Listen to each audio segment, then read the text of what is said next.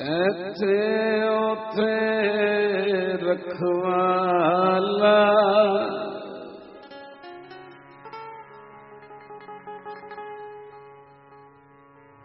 ਪ੍ਰਭ ਸਤਿਗੁਰ ਦੀਨ ਦਿਆਲਾ।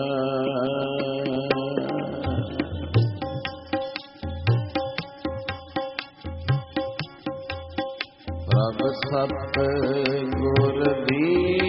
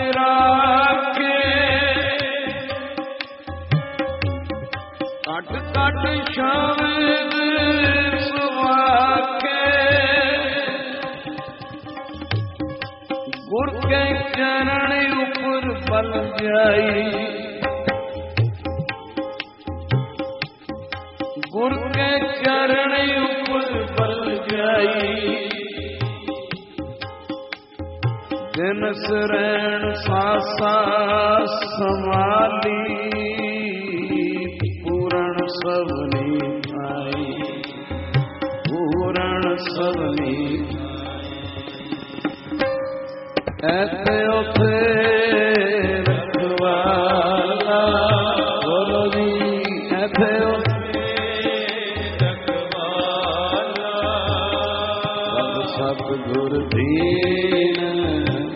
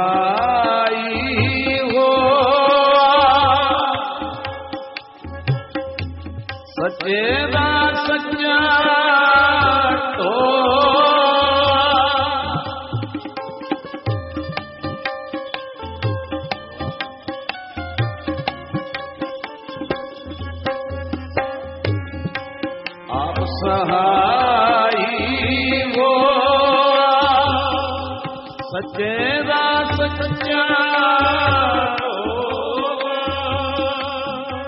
ਤੇਰੀ ਭਗਤ ਵਡਿਆ।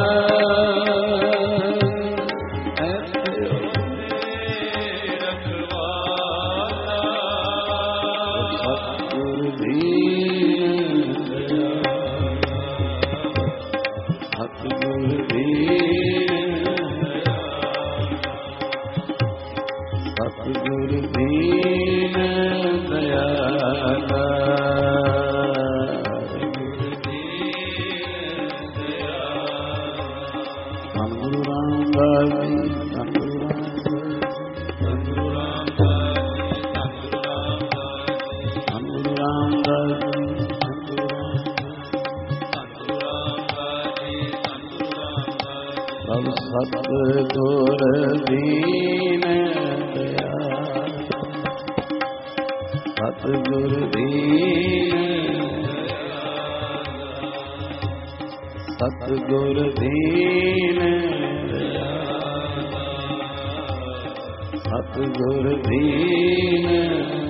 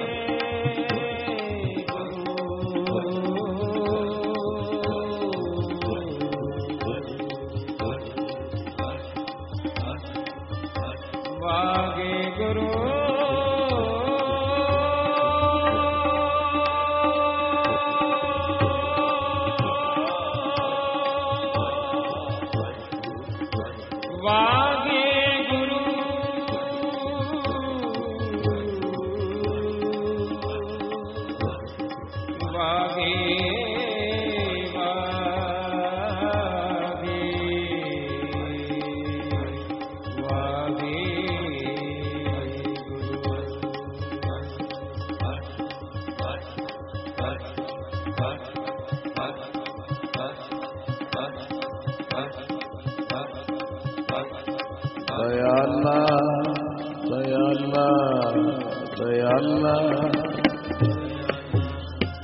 Dayana.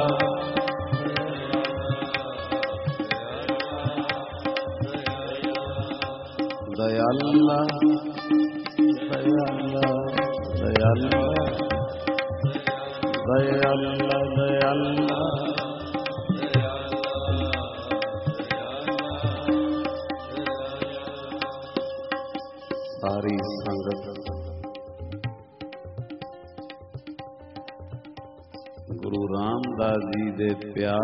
ਗੱਜ ਕੇ ਆਖੋ ਸਤਨਾਮ। ਹਰ ਵੀਰਵਾਰ।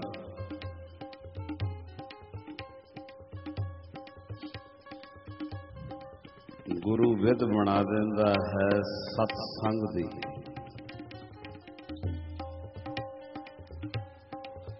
ਗੁਰੂ ਵਿਦ ਬਣਾ ਦਿੰਦਾ ਹੈ ਸੰਗਤ ਦੀਆਂ ਘੜੀਆਂ ਵਿੱਚ ਬੈਠਣ।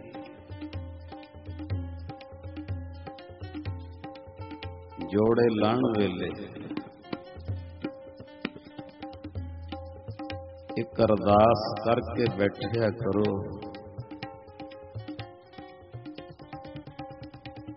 ਇੱਥੇ ਬੈਠ ਕੇ ਗੁਰੂ ਰਾਮਦਾਸ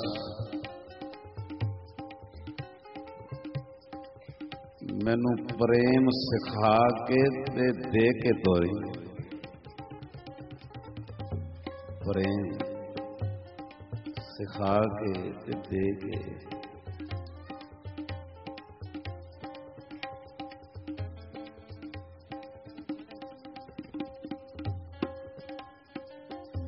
ਇਹ ਜਿੰਨੀ ਸੰਗਤ ਪ੍ਰੇਮ ਕੀ ਹੈ ਕਿ ਦਿਆਲਾ ਲਫ਼ਜ਼ ਹੀ ਆ ਜਾਏ ਨਾ, ਦਿਆਲਾ ਲਫ਼ਜ਼। ਕੀਰਤਨ ਸੁਣਦੇ ਸੁਣਦੇ। ਕੀਰਤਨ ਸੁਣਦਿਆਂ ਸੁਣਦਿਆਂ ਦਇਆਲਾ ਲਫ਼ਜ਼ ਆ ਜੇ ਤੇ ਤੁਹਾਡਾ ਪ੍ਰੇਮ ਇਹੋ ਜਿਹਾ ਛਾਲ ਮਾਰੇ। ਇਹੋ ਜਿਹਾ ਛਾਲ ਅੰਦਰੋਂ ਮਾਰੇ ਪਿਆਰ ਵਿੱਚ।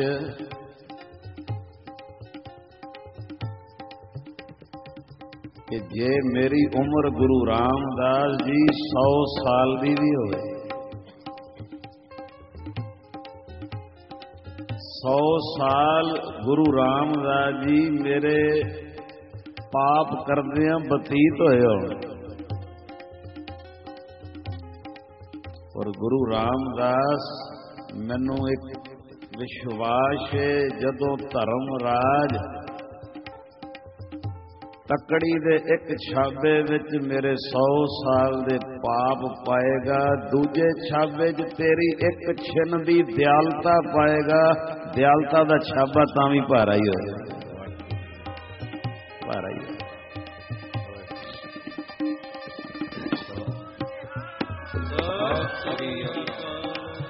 ਪਿਆਰ ਹੀ ਸਭ ਕੁਝ ਹੈ। ਇਸ਼ਾਰਾ ਲਿਓ ਇੱਕ ਵੀ।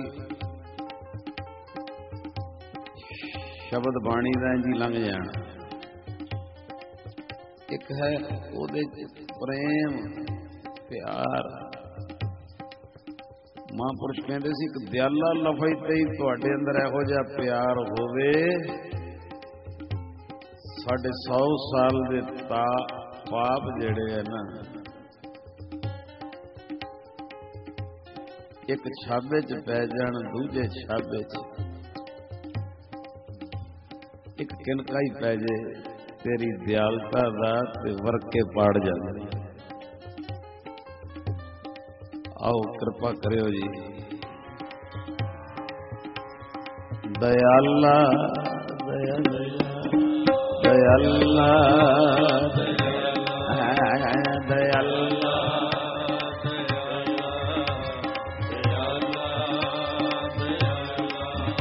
ਪ੍ਰਭ ਸਤ ਗੁਰ ਦੀਨ ਦਇਆਲਾ।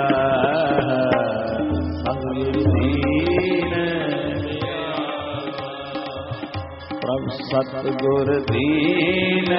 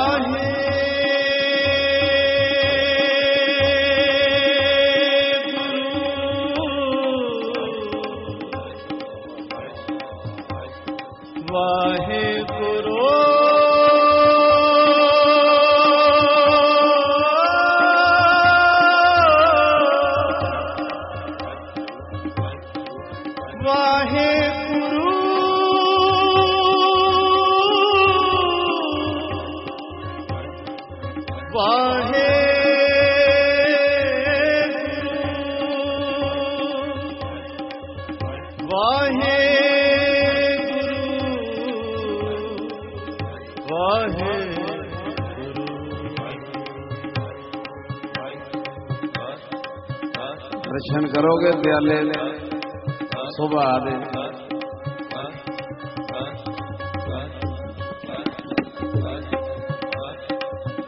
ਤੈਨ ਨਿੰਦਕ ਦੁਸ਼ਟ ਸਭ ਤਾਰੇ ਨਿੰਦਕ ਦੁਸ਼ਟ ਸਭ ਤਾਰੇ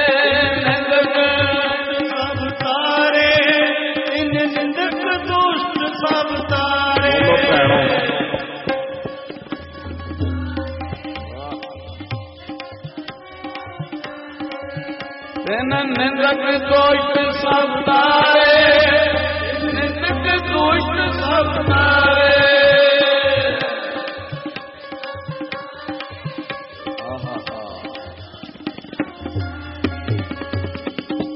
ਗੁਰ ਫਿਟਕੇ ਸੇ ਫਿਟੇ, ਗੁਰ ਅੰਗਦ ਕੀਤੇ ਕੁੜਿਆਰੇ।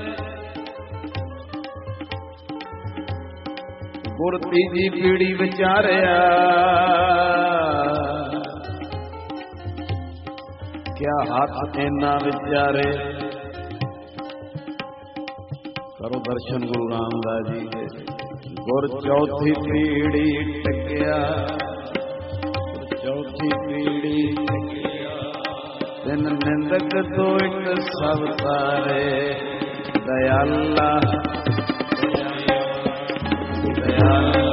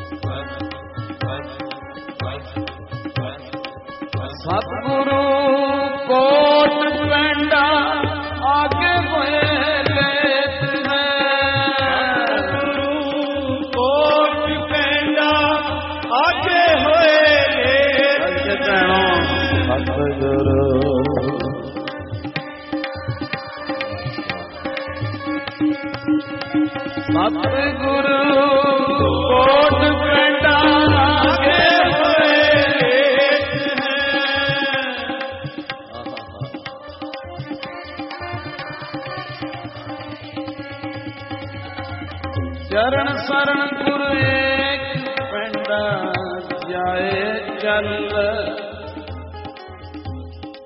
ਸਤਿਗੁਰੂ ਕੋਟ ਪਿੰਡਾ ਅਗ ਬਲੇ ਤਜੈ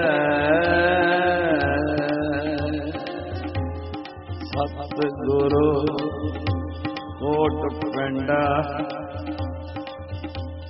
ਅਗੇ ਬਲੇ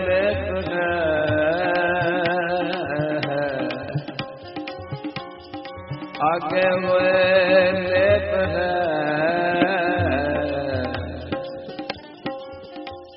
ਇੱਥੇ ਉੱਥੇ ਰਖਵਲ ਯਾਲਾ ਲਫ਼ਜ਼ ਵੇਲੇ ਵੀ ਸਾਡੀ ਹੈ ਪਾਵਨ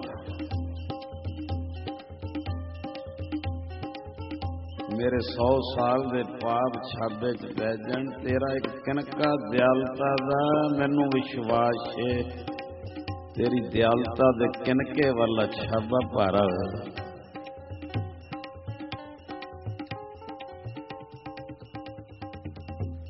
ਇੱਥੇ ਉੱਥੇ ਰਖਵਾਲਾ ਪਰ ਸਤਗੁਰ ਦੀਨ ਤੇ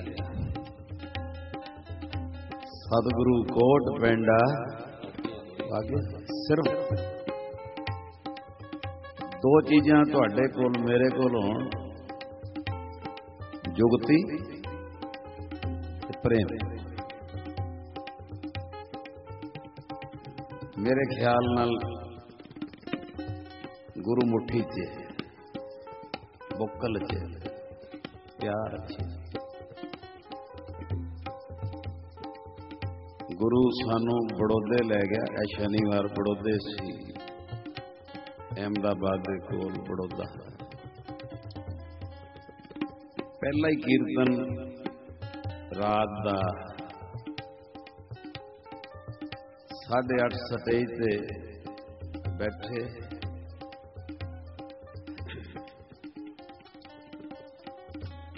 ਅਜੇ ਸਾਜ ਸੁਰ ਕਰ ਰਹੇ ਆ ਮਡੋਲੀਅਨ ਵਾਲਾ ਇਹਦੀ ਮਡੋਲੀਅਨ ਉੱਥੇ ਸ਼ੁਰੂ ਨਾ ਹੋਈ, ਪ੍ਰੋਬਲਮ ਅਸੀਂ ਸ਼ਬਦ ਸ਼ੁਰੂ ਕਰਤਾ ਇੱਕ ਅੱਧਾ ਮਿੰਟ ਢੀਕ ਕੇ। ਤਿੰਨ ਚਾਰ ਮਿੰਟ ਬਾਅਦ ਜੋ ਵੀ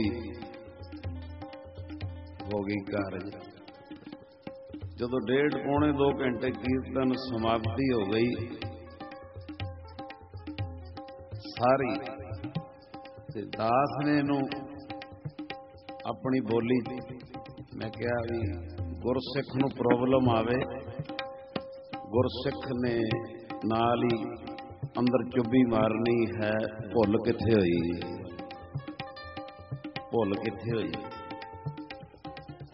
ਮੈਂ ਜਿਵੇਂ ਆਪਾਂ ਚ ਅਧਿਆਤਮਕ ਗੱਲ ਕਰੀ ਦੀ, ਮੈਂ ਕਿਹਾ ਵੀ ਹਯੂਰ ਸਾਹਿਬ, ਮਾਤਾ ਸਾਹਿਬ ਕੌਰ ਜੀ ਦੇ ਸਥਾਨ ਤੇ ਹਾਜ਼ਰੀ, ਉੱਥੇ ਮੈਂ ਕਿਹਾ ਤੇਰੀ ਸੋਭਾ ਬਹੁਤ ਹੋਈ ਸੀ, ਵਡਿਆਈ ਉੱਥੇ ਕਾਫੀ ਸਿੰਘ ਸਾਹਿਬਾਂ ਨੇ।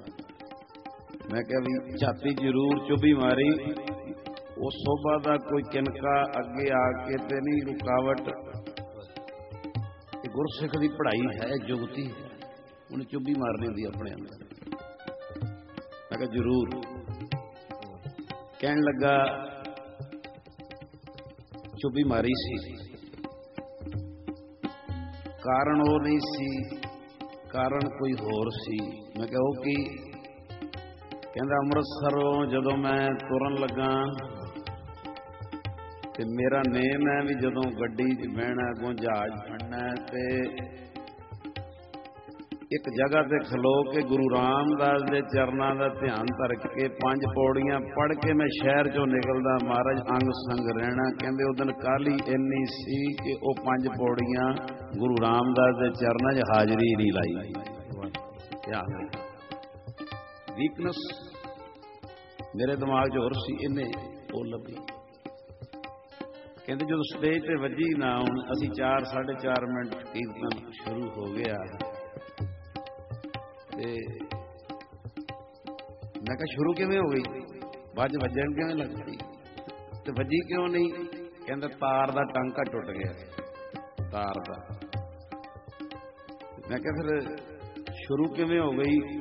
ਕਹਿੰਦੇ ਸਟੇਜ ਤੇ ਮੈਂ ਮਗਰ ਬੈਠੇ ਬੈਠੇ ਸੋਚਿਆ ਭੁੱਲ ਹੋਈ ਇਹ ਜੁਗਤੀ। ਐ ਸਿੱਖੀ ਹੈ। ਕਹਿੰਦੇ ਇੱਕਦਮ ਮੇਰੇ ਆਇਆ ਵੀ ਅੱਜ ਤੂੰ ਗੁਰੂ ਰਾਮਦਾਸ ਦੇ ਚਰਨਾਂ 'ਚ ਪੰਜ ਪੌੜੀਆਂ ਪੜ ਕੇ ਕਾਲੀ ਕੀਤੀ, ਉਹਨੂੰ ਛੱਡਤਾ ਗੁਰੂ ਰਾਮਦਾਸ। ਕਹਿੰਦੇ, ਵਜਾ ਕੇ ਵਿਖਾ ਵਿਖਾ ਕੀ ਕੀਤਾ ਹੀ ਫਿਰ? ਕਹਿੰਦੇ, ਮੈਂ ਸਟੇਜ ਤੇ ਬੈਠਿਆ ਆਂ ਪੰਜ ਪੌੜੀਆਂ ਪੜੀਆਂ ਵੀ ਗੁਰੂ ਰਾਮਦਾਸ ਜੀ ਇੰਨੇ ਮੀਲ ਦਾ ਸਫ਼ਰ ਕਰਕੇ ਲਿਆਏ ਤੇ ਸਾਜ ਦੀ ਸੇਵਾ ਲਓ। ਭੁੱਲ ਹੋ ਗਈ ਉੱਥੇ ਜਿਹੜੀ ਹਾਜ਼ਰੀ ਅੰਮ੍ਰਿਤਸਰੋਂ ਤੁਰਨ ਲੱਗਿਆ ਕਾਲੀ ਚ ਨਹੀਂ ਲੱਗੀ ਸਟੇਜ ਤੇ ਲਾਨਾ। ਆ ਦਿਆਲਾ ਜੀ। ਕਹਿੰਦੇ ਇੱਧਰ ਮੇਰੀਆਂ ਪੰਜ ਪੌੜੀਆਂ ਪੂਰੀਆਂ ਹੋਈਆਂ। ਮਾਫੀ ਮੰਗੀਏ ਮਨ ਵਿੱਚ। ਉੱਥੇ ਹੀ ਅਹਿਮਦਾਬਾਦ ਦੇ ਸੁਖਵੀਰ ਸਿੰਘ। ਦੇਖੋ, ਇੰਨੀ ਜਲਦੀ ਟਾਂਕਾ ਲੱਗ ਜਾਂਦਾ, ਹੈਰਾਨਗੀ। ਅਹਿਮਦਾਬਾਦ ਦੇ ਸੁਬੀਰ ਸਿੰਘ ਜਿਹੜੇ ਗੱਡੀ ਲੈ ਕੇ ਆਏ, ਉਹ 3 3.5 ਮਿੰਟ ਵਿੱਚ ਕਹਿੰਦੇ ਮੇਰੀਆਂ ਪੰਜ ਪੌੜੀਆਂ ਖਤਮ ਹੋਈਆਂ, ਮਾਫੀ ਮੰਗੀ, ਉਹਨਾਂ ਲੀਡ ਫੜਾਤੀ। ਕਹਿੰਦੇ ਟਾਂਕਾ ਲੱਗ ਗਿਆ, ਸ਼ੁਰੂ ਕਰ ਆਪੋ ਸਤਨਾਮ। ਗੁਰੂ ਰਾਮਦਾਸ ਜੀ ਕਹਿੰਦੇ ਐ ਮੈਂ ਕੋਲ ਹੀ ਆ। ਦੇਖੋ, ਇਹ ਗੱਲਾਂ ਬੋਲਣੀਆਂ ਨਹੀਂ ਚਾਹੀਦੀਆਂ ਵੈਸੇ ਤੇ, ਪਰ ਇੱਕ ਪਰਿਵਾਰ ਵਾਂਗ ਬੈਠੇ ਆ। ਬੋਲਣ ਦਾ ਕੋਈ ਹੋਰ ਕਾਰਨ ਨਹੀਂ। ਸਿਰਫ ਇੱਕੋ ਕਾਰਨ, ਜੁਗਤੀ ਕੀ ਹੁੰਦੀ ਹੈ ਤੇ ਪ੍ਰੇਮ ਕੀ ਹੁੰਦਾ ਜੁਗਤੀ ਇਹ ਹੁੰਦੀ ਹੈ ਕਮੀ ਲੱਭਣੀ ਚਾਹੀਦੀ ਹੈ ਪ੍ਰੇਮ ਇਹ ਹੈ, ਆਪਣੀ ਕਮੀ ਲੱਭ ਕੇ ਅਰਦਾਸ ਕਰਦੇ। ਗੁਰੂ ਕਹਿੰਦਾ, ਮੈਂ ਇੰਨਾ ਦਿਆਲੂ ਆ ਜੋ ਕੁਝ ਇਨਪੋਸੀਬਲ ਏ, ਉਹ ਵੀ ਪੋਸੀਬਲ ਬਣਾ ਸਕਦਾ ਹਾਂ। ਆਖੋ, ਸਤਨਾਮ। ਇਹ ਹੈ ਦਿਆਲਾ। ਕਿੰਨੀ ਵਾਰੀ ਤੁਸੀਂ ਪੰਕਤੀ ਬੋਲਦੇ ਹੋ ਮੈਂ ਵੀ ਬੋਲਦਾ ਸਤਿਗੁਰੂ ਕੋਟ ਪਿੰਡਾ ਆਗੇ ਹੋਏ। ਹੁਣ ਇਹਦਾ ਨਿਰਾ ਇਹ ਅਰਥ ਨਹੀਂਗਾ ਕਿ ਅਸੀਂ ਕਿਤੇ ਜਾ ਰਹੇ ਹਾਂ ਤੇ ਗੁਰੂ ਕਰੋੜ ਪਿੰਡਾ ਅੱਗੇ। ਉਹ ਵੀ ਆਂਦਾ ਇਹਦਾ ਅਰਥ ਸਾਰੇ ਪਾਸੇ ਹੀ ਨਿਕਲਦਾ ਹੈ ਕਿ ਜੇ ਸਟੇਜ ਤੇ ਬੈਠੇ ਆਂ ਵੀ ਤੂੰ ਪੰਜ ਪੌੜੀਆਂ ਪੜ ਕੇ ਕੋਈ ਮਾਫੀ ਤੇ ਉਹ ਆ ਗਿਆ ਕੋਟ ਪਿੰਡਾ। ਹੱਕ ਸਤਨਾਮ ਇਹ ਗੱਲ ਹੈ। ਵਰਤ ਰਿਹਾ ਪਿਆਰ ਹੈ। ਅੱਜ ਸਵੇਰੇ ਨਾ ਦੋ ਫੋਨ ਮੈਂ ਬੜੇ ਜ਼ਰੂਰੀ ਕਰਨੇ ਸੀ। ਉਹ ਜ਼ਰੂਰੀ ਔਰ ਹੈ ਵੀ ਖਤਰਨਾਕ ਫੋਨ ਸੀ ਵੀ ਅੱਗੋਂ ਬੰਦਾ ਗੱਲ ਸੁਣ ਲੇ, ਕਿਰਪਾ ਹੋ ਜੇ ਮੇਰ ਹੋ ਜੇ। ਉਧਰੋਂ ਮੇਰੇ ਅੰਦਰ ਹੈਗਾ ਸੀ ਵੀ ਜਦ ਤੱਕ ਤੇਰੀ ਸੁਖਮਨੀ ਸਾਹਿਬ ਜੀ ਦੀ ਹਾਜ਼ਰੀ ਨਹੀਂ ਲੱਗੀ, ਮੇਰੇ ਅੰਦਰ ਵਿਸ਼ਵਾਸ ਹੈ, ਤੇਰਾ ਫੋਨ ਕੋਈ ਸਿੱਧਾ ਪੈਣਾ ਹੀ ਨਹੀਂ। ਤੂੰ ਜੋ ਕੰਮ ਕਰੇਗਾ, ਉਹਨੇ ਸਿੱਧਾ ਨਹੀਂ ਪੈਣਾ। ਉਹਦੇ 'ਚ ਕੋਈ ਨਾ ਕੋਈ ਪ੍ਰੋਬਲਮ ਮੈਂ ਕਿਹਾ ਗੁਰੂ ਸਾਹਿਬ ਨੂੰ, ਮੈਂ ਕਿਹਾ ਗੁਰੂ ਸਾਹਿਬ, ਉਹ ਬੰਦਾ ਵੀ ਨਿਕਲ ਜਾਣਾ। ਤੇ ਪਾਠ ਵੀ ਸੁਮਣੀ ਸਾਹਿਬ ਨੂੰ ਕਰਾਂਗਾ। 30 35 ਮਿੰਟ ਲੱਗ ਜਾਣੇ। ਤੇ ਅੰਦਰ ਹੀ ਮੈਂ ਕਿਹਾ ਜੀ ਹੈਗੇ ਤੇ ਤੁਸੀਂ ਦਿਆਲੂ ਹੋ। ਤੇ ਇਹ ਮੈਂ ਅੰਦਰ ਦੀਆਂ ਗੱਲਾਂ ਕਰ ਰਿਹਾ ਅੱਜ ਭਾਵੇਂ। ਇਹਨੂੰ ਨਹੀਂ ਵੀ ਰਿਕਾਰਡਿੰਗ ਨਾ ਕਰਨੀ ਹੋਈ, ਨਾ ਕਰਨੀ। ਗੱਲਾਂ ਕਈ ਵਾਰੀ ਫਿਰ ਪਿਆਰ ਵਾਲੀਆਂ ਵੀ ਛਿੜ ਜਾਂਦੀਆਂ। ਦਾਸ ਨੇ ਇੰਨਾ ਹੀ ਮੈਂ ਕਿਹਾ ਜੀ, ਫੋਨ ਦੋ ਜ਼ਰੂਰੀ ਬੜੇ ਐ ਸਤਿਗੁਰੂ। ਤੇ ਦਾਸ ਪੰਜ ਵਾਰੀ ਇੰਨਾ ਹੀ ਕਹਿ ਦਿੰਦਾ, ਧੰਨ ਸ੍ਰੀ ਸੁਖਮਨੀ ਸਾਹਿਬ ਜੀ। ਮੈਂ ਪੰਜ ਵਾਰੀ ਇਹ ਕਹਿ ਕੇ ਮੈਂ ਧੰਨ ਸ੍ਰੀ ਸੁਖਮਨੀ ਸਾਹਿਬ ਜੀ, ਧੰਨ ਸ੍ਰੀ, ਫਿਰ ਪੰਜ ਵਾਰੀ ਮੈਂ ਕਿਹਾ, ਧੰਨ ਸ੍ਰੀ ਗੁਰੂ ਰਾਮਦਾਸ ਜੀ, ਧੰਨ ਸ੍ਰੀ ਗੁਰੂ। ਮੈਂ ਦੱਸ ਨਹੀਂ ਸਕਦਾ ਸਾਧ ਸੰਗਤ। ਉਹ ਦੋਵੇਂ ਫੋਨ ਬੰਦੇ ਵੀ ਮਿਲ ਪਏ ਕਾਰਜ ਵੀ। ਮੈਂ ਕਿਹਾ, ਸਾਡਾ ਪਿਓ ਐਡਾ ਦਿਆਲੂ ਹੈ ਜੇ ਮਨ ਨੀਵਾ ਕਰਕੇ ਕਹਿ ਦਈਏ, ਸਤਿਗੁਰੂ, ਆ 5-10 ਮਿੰਟ ਦਾ ਆਧਾਰ ਕਰ ਲਓ, ਆਧਾਰ ਹੀ ਕਰ ਲਓ, ਬਾਅਦ ਚ ਕਰ ਲੈਣਾ ਪਾਠ ਗੁਰੂ ਕਹਿੰਦਾ, ਕੋਈ ਨੂੰ, ਤੂੰ ਮਨ ਨੀਵਾ ਕਰਕੇ ਕਹਿਤਾ ਨਾ, ਤੇ ਹੁਣ ਮੈਂ ਦਿਆਲੂ ਆ, ਜਿੱਥੇ ਮਰਜ਼ੀ ਚਲਾ ਜਾ, ਫਤਿਹ ਹੀ ਹੋਏ। ਬਖਸ਼ਿਸ਼ ਹੀ ਹੋਏ। ਇਸ਼ਾਰਾ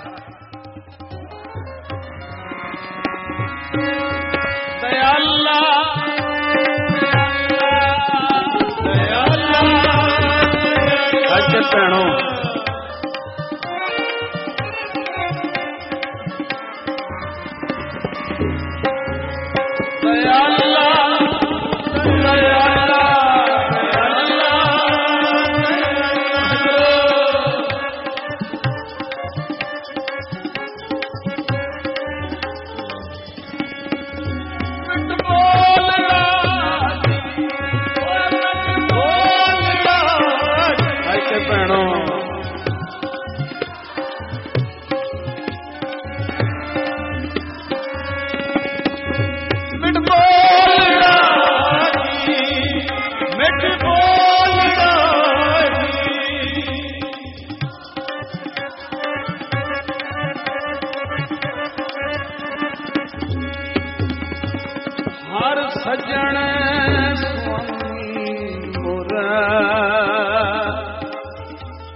ਹਉ ਸੰਬਲ ਖੱਤੀ ਜੇ।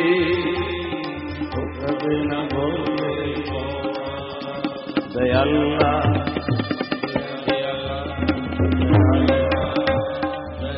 ਅਕੇ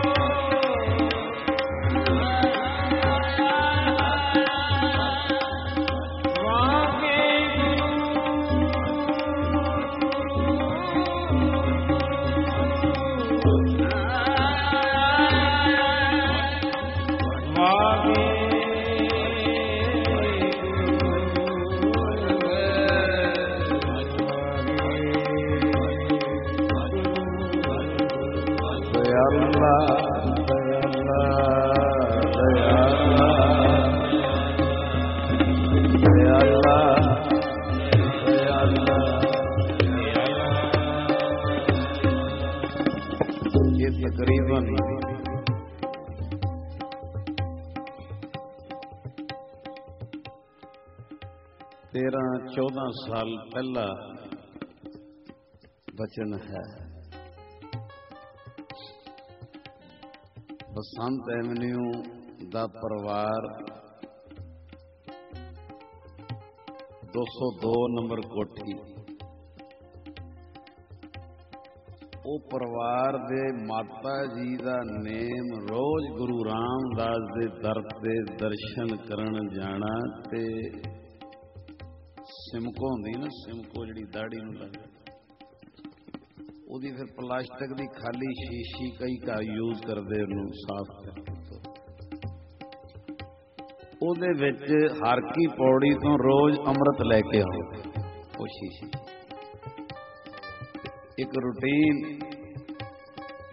ਬਾਰੀ ਹੈ, ਉੱਥੇ ਸ਼ੀਸ਼ੀ ਰੱਖਣੀ। ਉਸ ਘਰ ਦੀ ਮਾਤਾ ਦਾ ਬੱਚਿਆਂ ਨੂੰ ਪ੍ਰੇਰਣਾ ਤੇ ਹਦਾਇਤ ਕਿ ਸਕੂਲ ਜਾਣ ਤੋਂ ਪਹਿਲਾਂ ਗੁਰੂ ਰਾਮਦਾਸ ਜੀ ਦੇ ਦਰ ਦਾ ਅੰਮ੍ਰਿਤ ਪੀ ਕੇ ਜਾਣਾ ਹੈ। ਜਪਜੀ ਸਾਹਿਬ ਪੜ੍ਹ ਕੇ ਅੰਮ੍ਰਿਤ ਭਾਵਨਾ ਨਾਲ ਪੀ ਗੁਰੂ ਰਾਮਦਾਸ ਜੀ ਦੇ ਦਰ ਹੁਣ ਉਹ ਚੜਾਈ ਕਰ ਚੁੱਕੇ ਮਾਤਾ ਜੀ। ਤੇ ਜਿਸ ਦਿਨ ਚੜਾਈ ਕੀਤੀ ਤੇ ਉਸ ਦਿਨ ਵੀ ਬੱਚਿਆਂ ਨੂੰ ਇਹੀ ਗੱਲ ਕਹੀ, ਮੈਂ ਜੋ ਕੁਝ ਪਾਇਆ ਜੇ ਗੁਰੂ ਰਾਮਦਾਸ ਦੇ ਦਰ ਤੋਂ ਪਾਇਆ, ਇਹ ਦਰ ਨਾ ਕਦੀ ਛੱਡਣਾ ਆਖੋ ਸਤਨਾਮ। ਇਹਨੂੰ ਨਾ ਛੱਡ ਦੇ। ਜੋ ਕੁਝ ਪਾਇਆ ਮੈਂ ਨਹੀਂ ਇਹਨੂੰ ਨਾ ਭੁੱਲ ਜਾਣਾ, ਆਖੋ ਸਤਨਾਮ। ਉਹ ਮਾਤਾ ਨੇ ਆਪ ਕਹਿਣਾ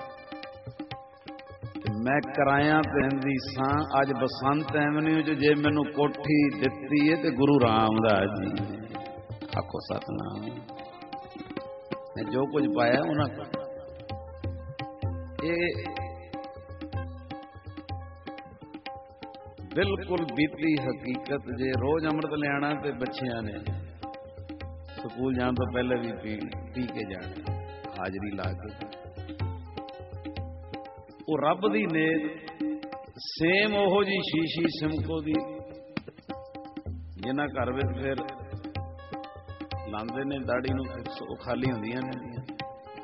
ਸੇਮ ਉਹੋ ਜੀ ਸ਼ੀਸ਼ੀ ਉਸੇ ਬਾਰੀ ਵਾਲੀ ਜਗ੍ਹਾ ਤੇ ਕਿਸੇ ਨੇ ਰੱਖਤੀ ਤੇ ਉਹਦੇ ਵਿੱਚ ਤੇਜ਼ਾਬ ਪਿਆ। ਕਿ ਪਰਿਵਾਰ ਨਾਲ ਬੀਤੀ, ਕਿਉਂਕਿ ਅੱਜ ਮੇਰਾ ਦਿਲ ਕਰਦਾ ਹੈ ਤੁਹਾਡੇ ਨਾਲ ਸਾਂਝ ਇੱਥੇ, ਉੱਥੇ, ਵੀ ਅੱਜ ਆਪਣੇ ਗੁਰੂ ਲਈ ਐਡਾ ਤਗੜਾ ਪ੍ਰੇਮ ਲੈ ਕੇ ਜਾਓ, ਮੇਰਾ ਗੁਰੂ ਰਾਮਦਾਸ। ਇੱਥੇ ਵੀ ਰਾਖੀ ਕਰਦਾ ਤੇ ਉੱਥੇ ਵੀ ਰਾਖੀ ਕਰਦਾ ਹੁਣ ਛੋਟਾ ਜਿਹਾ ਜੇਕਰ ਉੱਥੇ ਦਾ ਲਵਾਂਗੇ, ਫਿਰ ਸੁਣ ਆ ਇੱਥੇ ਦਾ। ਇਹ ਆਪ ਪਰਿਵਾਰ ਨੇ ਬਚਨ ਸੁਣਾਇਆ ਕਿ ਜਿਹੜੀ ਸ਼ੀਸ਼ੀ ਦਰਬਾਰ ਸਾਹਿਬ ਤੋਂ ਲੈਂਦੀ ਹੈ, ਉਹ ਪਰਚੀ ਪਈ ਹੈ। ਘਰ ਦੀ ਨੁਕਰਾਣੀ ਹੈ, ਕਿਸੇ ਨੇ ਉੱਤੇ ਯਾਬ ਦੀ ਸ਼ੀਸ਼ੀ ਸਿਮਕੋ ਦੀ, ਉਸੇ ਜਗ੍ਹਾ ਤੇ ਹੀ ਰੱਖ ਹੁਣ ਬੱਚੇ ਰੂਟੀਨ ਚ ਸਾਰੇ ਜਿਹੜੇ ਤਿਆਰ ਹੋਏ ਨੇ, ਉਹ ਜਿਹੜੀ ਤੇਜ਼ਾਬ ਦੀ ਸ਼ੀਸ਼ੀ ਉਹਨੂੰ ਪਕੜ ਕੇ। ਤੇ ਦੋਵੇਂ ਭੈਣਾਂ ਆਪਸ ਚ ਲੜ ਰਹੀਆਂ। ਪਹਿਲੇ ਮੈਂ ਪੀਣਾ ਹੈ ਕਦੀ ਪਹਿਲੇ ਮੈਂ ਆਪੋ ਸਾਥ ਜਿਵੇਂ ਬੱਚੇ ਆਮ ਲੜਦੇ ਨੇ, ਛੋਟੀ ਹੋ ਪਹਿਲੇ ਮੈਂ ਪੀਣਾ ਹੈ, ਪਹਿਲੇ ਮੈਂ। ਇੱਕ ਭੈਣ ਕਾਂਗਰੇ ਜੇ ਜਾਈ ਪਹਿਲੇ ਮੈਂ ਪੀਣਾ, ਕਹਿੰਦੇ ਪਹਿਲੇ ਮੈਂ ਪੀਣਾ ਕਹਿੰਦੇ ਪਹਿਲੇ ਮੈਂ ਪੀਣਾ ਬੱਚੇ ਟੱਕਣ ਖੋਲਦੇ ਜਿਵੇਂ ਬੱਚੇ ਆਪਸ ਕਈ ਵਾਰੀ ਲੜਦੇ ਪਹਿਲੇ ਅੰਮ੍ਰਿਤ ਮੈਂ ਪੀਣਾ ਤੇ ਉਹ ਇੱਕ ਨੇ ਜਿਹਦੀ ਜਿੱਤ ਧੋਗੀ ਫੜ ਲਈ ਵੀ ਪਹਿਲੇ ਮੈਂ ਪੀਣਾ ਹੁਣ ਹੈ ਤੇਜ਼ਾਬ ਆਉਂ ਉਹ ਭੈਣ ਪੀਣ ਲੱਗੀ ਐ ਤੇ ਉਧਰੋਂ ਪਿਤਾ ਨੇ ਆਵਾਜ਼ ਮਾਰੀ ਇਹਦੇ ਤੇ ਤੇਜ਼ਾਬ ਸੀ ਪਰ ਕਹਿਣ ਤੱਕ ਸਾਧ ਸੰਗਤ ਘੁੱਟ ਭਰਿਆ ਗਿਆ। ਕਹਿਣ ਤੱਕ ਘੁੱਟ ਭਰਿਆ ਗਿਆ। ਉਧਰੋਂ ਜਿਹੜਾ ਇੱਕ ਦੂਜੇ ਦੀ ਬਾਹ ਖਿੱਚਦੀ ਨਾ, ਮੈਂ ਪੀਣਾ ਮੈਂ ਪੀਣਾ, ਤੇ ਉਹ ਘੁੱਟ ਭਰਿਆ ਗਿਆ ਮੁਖ ਵਿੱਚ ਤੇ ਉਧਰੋਂ ਬਾਹ ਖਿੱਚੀ ਜਾ ਰਹੀ ਹੈ। ਕੁਝ ਭਰਿਆ ਗਿਆ, ਕੁਝ ਉਧਰੋਂ ਆਵਾਜ਼ ਵੱਜੀ ਤੇਜ਼ਾਬ ਦੀ ਤੇ ਕਾਫੀ ਸਾਰੇ ਛਿੱਟੇ ਜਿਹੜੇ ਨੇ ਕੱਪੜਿਆਂ ਤੇ ਪੈ ਗਏ। ਇਹ ਹਕੀਕਤ ਜੇ ਬਸੰਤ ਹੈ। ਉਸ ਵੇਲੇ ਕੀ ਵੇਖਿਆ ਗਿਆ? ਜਿੰਨੇ ਛਿੱਟੇ ਮੁਖ ਚੋਂ ਮਾਂ ਖਿੱਚਣ ਨਾਲ ਦੂਜੀ ਭੈਣ ਦੇ ਕੱਪੜਿਆਂ ਤੇ ਪਏ ਨੇ, ਜਿੱਥੇ ਜਿੱਥੇ ਛਿੱਟੇ ਪਏ, ਉੱਥੋਂ ਉੱਥੋਂ ਕੱਪੜਾ ਸੜ ਗਿਆ। ਤੇ ਯਾਦ ਜਿੱਥੇ ਜਿੱਥੇ ਕੱਪੜੇ ਤੇ ਛਿੱਟੇ ਪਏ, ਉੱਥੋਂ ਉੱਥੋਂ ਕੱਪੜਾ ਸੜ ਗਿਆ, ਪਰ ਜਿਹੜੇ ਬੂੰਦਾਂ, ਜਿਹੜਾ ਘੁੱਟ ਅੰਮ੍ਰਿਤ ਸਮਝ ਕੇ ਮੁਖ ਚ ਗਿਆ, ਉਹ ਗੁਰੂ ਰਾਮਦਾਸ ਨੇ ਅੰਮ੍ਰਿਤ ਹੀ ਬਣਾ ਦਿੱਤਾ। ਮੁਖ ਚ ਕੋਈ ਇੱਥੇ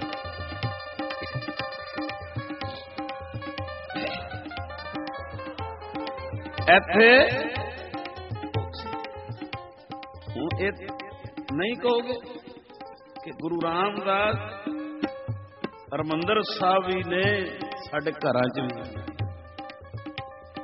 ਅਮਰੀਕਾ 'ਚ ਵੀ ਨੇ ਸੜਕਾਂ ਤੇ ਵੀ ਨੇ ਮਲੇਸ਼ੀਆ 'ਚ ਵੀ ਨੇ ਵੀਰਾਨ ਜਗ੍ਹਾ ਤੇ ਵੀ ਨੇ ਸੰਗਤ ਵਿੱਚ ਵੀ ਇੱਥੇ ਉੱਥੇ ਰੱਖਵਾ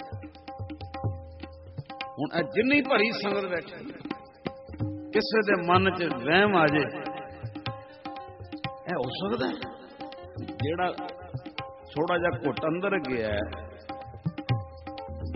ਮੂੰਹ 'ਚ ਛਾਲਾ ਕੋਈ ਨਹੀਂ, ਜਿਹੜੇ ਛਿੱਟੇ ਬਾਹਰ ਨੇ, ਉਹ ਤਜਾਵੀ ਹੈ ਜਿਹੜਾ ਉਹ ਬੱਚਾ ਅੰਮ੍ਰਿਤ ਦੀ ਭਾਵਨਾ ਨਾਲ, ਇਹ ਹੋ ਸਕਦਾ ਤੁਹਾਡੇ ਵਹਿਮ ਆ ਜੇ, ਹਰ ਗੱਲ ਦੀ ਦਲੀਲ ਲੋੜ ਹੈ।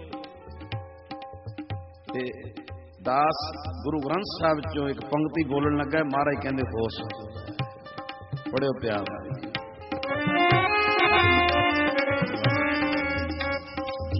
ਦੇਖਤੇ ਅੰਮ੍ਰਿਤ ਹੋਇਓ।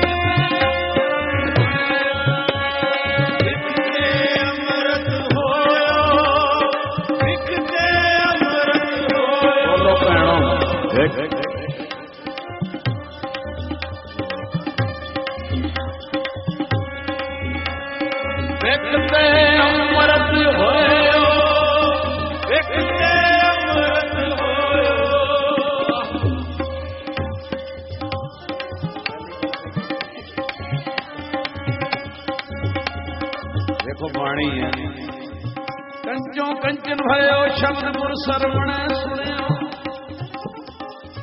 ਬਾਣੀ ਕਹਿੰਦੀ ਹੈ ਵਿਖ ਤੇ ਅੰਮ੍ਰਿਤ ਹੋਇਓ ਨਾਮ ਸਤਿਗੁਰ ਮੁਖ ਪੜਿਆ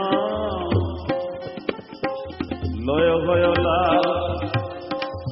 ਲੋਹੇ ਦੀ ਕੀਮਤ ਲਾਲ ਵਰਗੀ ਪੈ ਸਕਦੀ ਗੁਰੂ ਨਜ਼ਰ ਕਰ ਲੋਇਓ ਹੋਇਓ ਲਾਲ ਨਜ਼ਰ ਸਤਿਗੁਰ ਜਬ ਧਾਰੇ।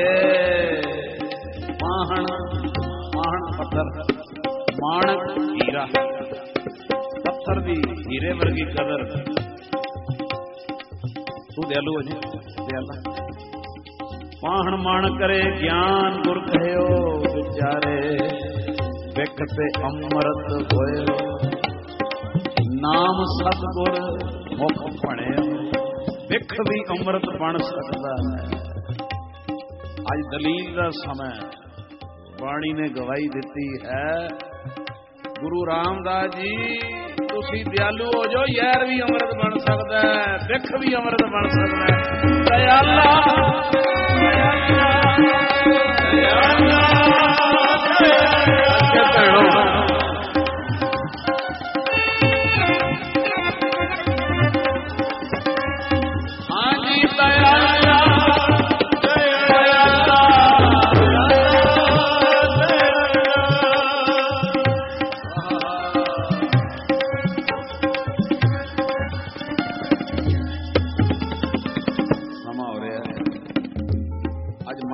ਇੱਥੇ, ਉੱਥੇ ਰਖਵਾਤਾ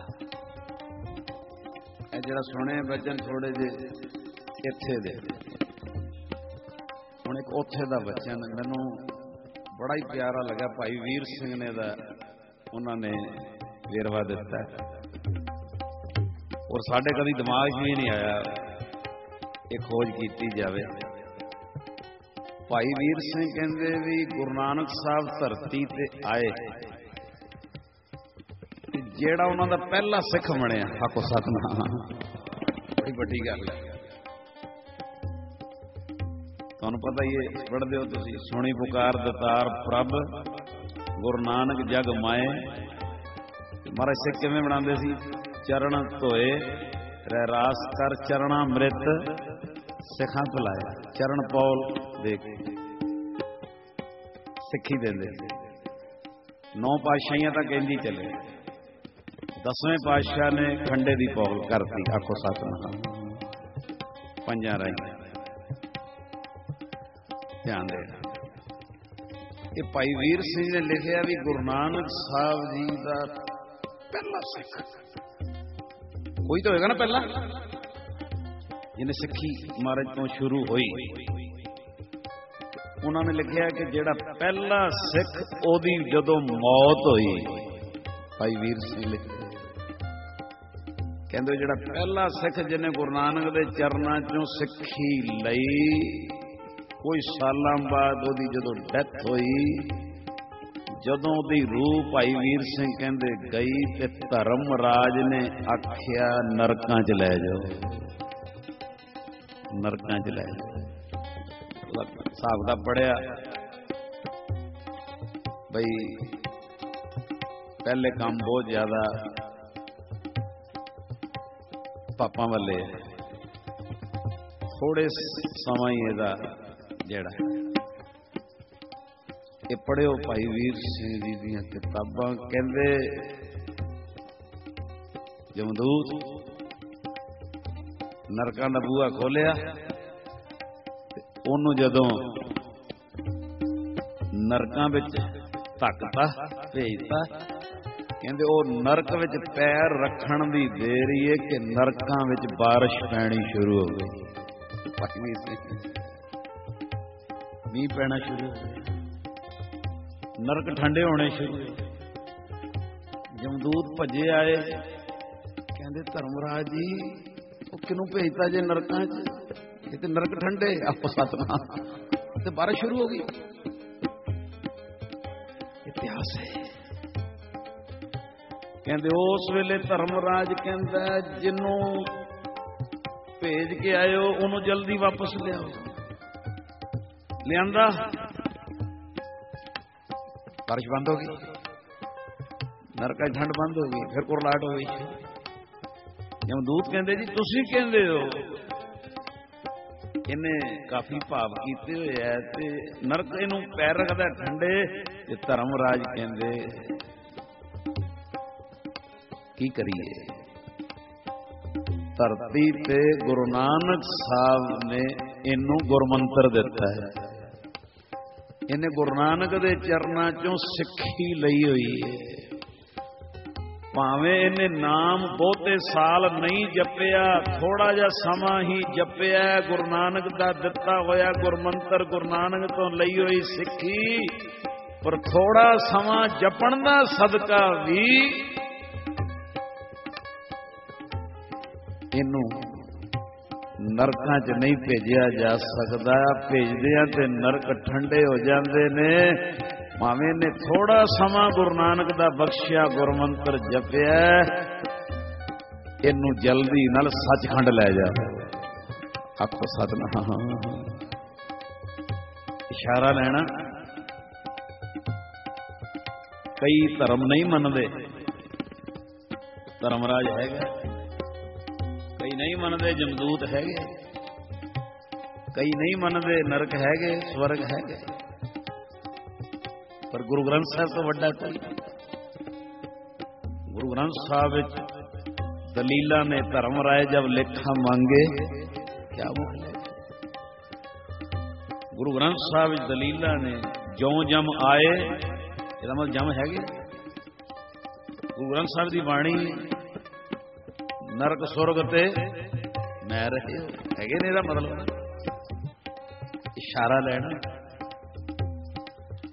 ਕਿ ਸਾਡੇ ਗੁਰੂ ਨਾਨਕ ਸਾਹਿਬ ਕਿੰਨੇ ਵੱਡੇ ਨੇ ਕਿ ਥੋੜਾ ਜਿਹਾ ਸਮਾਂ ਵੀ ਉਹ ਸਿੱਖ ਜਿਹੜਾ ਪਹਿਲਾਂ ਸਜਿਆ ਸੀ, ਉਹਨੇ ਥੋੜਾ ਜਿਹਾ ਸਮਾਂ ਹੀ ਭਾਵੇਂ ਉਸ ਤੋਂ ਬਾਅਦ ਉਹਦੀ ਡੈਥ ਹੋ ਗਈ ਹੈ ਚੰਦ ਗਿਣਤੀ ਦੇ ਸਾਲਾਂ ਬਾਅਦ, ਪਰ ਉਹਨੂੰ ਵੀ ਨਰਕਾਂ 'ਚ ਨਹੀਂ ਭੇਜ ਸਕਿਆ। ਕਿਉਂ? ਜਿਨੇ ਗੁਰਮੰਤਰ ਦਿੱਤਾ, ਉਹ ਇਹਦਾ ਇੱਥੇ ਵੀ ਰਖਵਾਲਾ ਤੇ ਉੱਥੇ ਵੀ ਰਖਵਾਲਾ। ਆ ਸਾਡਾ ਪਿਓ ਹੈ।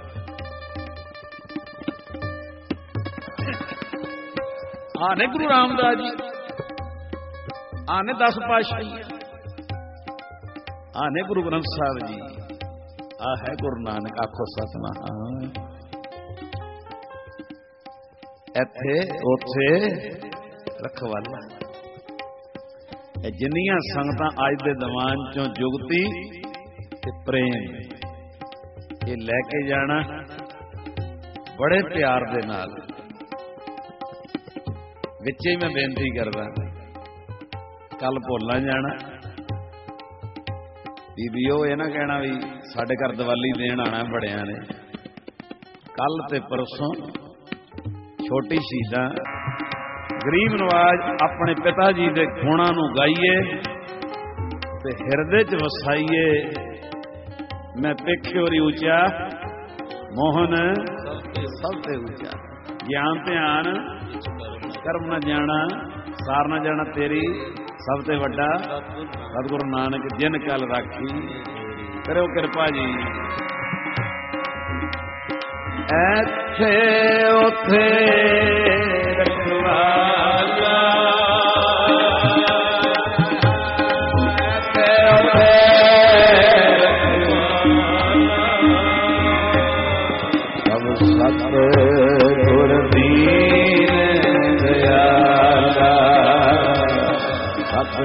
ਦੀਨ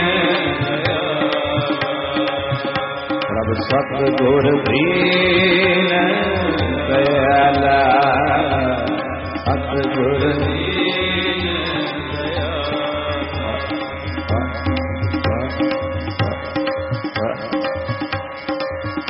ਵਾਹ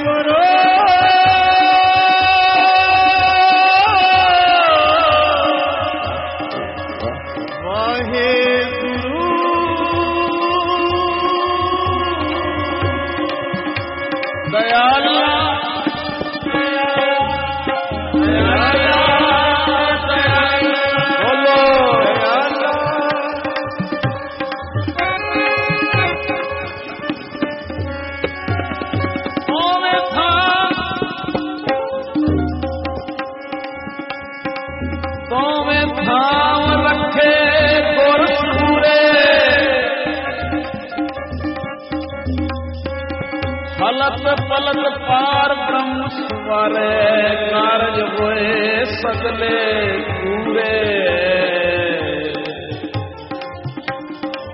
ਦੋਵੇਂ ਥਾਂ ਰੱਖੇ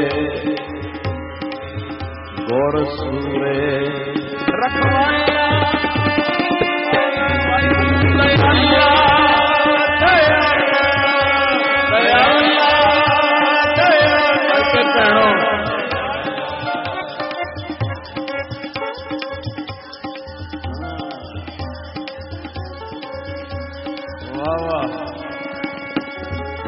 ਸਤਿਗੁਰ ਸਿੱਖ ਕਾ।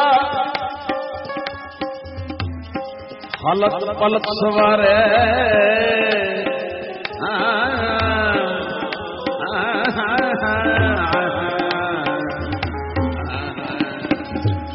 ਸਤਿਗੁਰ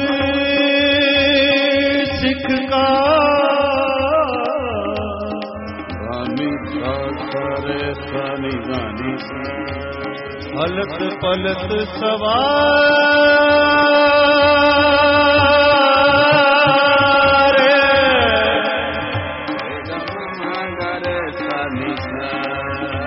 ਹਲਤ ਪਲਤ ਸਵਾਰ